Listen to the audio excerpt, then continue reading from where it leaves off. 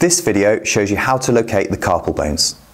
Let's start with the trapezium, which is located at the base of the first metacarpal. Next, the scaphoid can be palpated in the anatomical snuff box, below the trapezium, with the scaphoid tubercle being the most prominent. The capitate can be located at the dip, at the base of the third metacarpal when the wrist is flexed. You can feel the capitate if you push into this dip when the wrist is in neutral. Above the capitate is the lunate carpal bone. The trapezoid is located between the capitate and the trapezium, here. Moving to the palmar side of the hand, the hamate is located in the hypothenar region, with the hook of hamate being a palpatable nodule underneath the thickened palmar skin.